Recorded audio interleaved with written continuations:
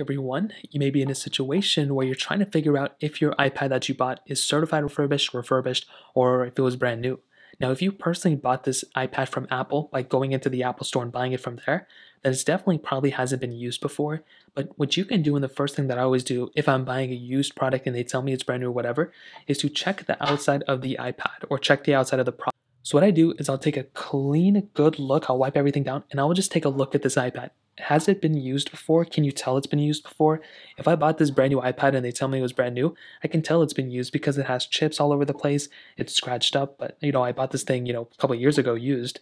But if I was told this was a brand new iPad, I'd immediately start checking through across the whole entire iPad and to see if there were any cracks, if there's any scratches on the display. If it looks like this, then that definitely means it's been used before.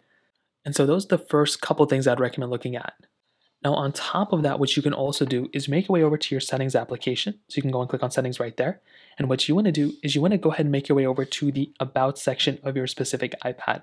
So go and click on about and you can get a ton of different information here. But what I would recommend doing is right here where it says coverage expired, you wanna click here and it can actually tell you a couple of different things. So if they tell you the iPad was brand new and you have the purchase date of it, well, if it says that the coverage is, is, expired like it does for me, and for some reason if my iPad was supposed to be brand new and if it was supposed to have coverage still, well, this would be a dead giveaway for me because you can see that, you know, I can go ahead and, you know, service it for those things.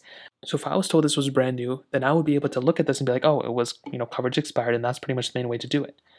Now, another thing I've been able to hear is that if your serial number or model number end with a certain type of thing, or if it starts with a certain thing, like a serial number or model number, well, then that may indicate that your, you know, actual iPad is, you know, certified refurbished, or if it's been used, or if it's brand new as well. So if it's certified refurbished, it has a different one of numbers. I think it starts with. If it's brand new, it starts with a different thing. So I will go ahead and put that on the screen right now of which one is which. That way you can kind of tell, you know, which one you have, and that's another way to tell as well. So those are the main ways, in my opinion, to tell if your iPad has been certified refurbished, if it's been used, and that's pretty much how to do it. If you have any other thoughts or questions, let me know in the comment section below. Hit the like button, that would so much, but definitely hit that subscribe button.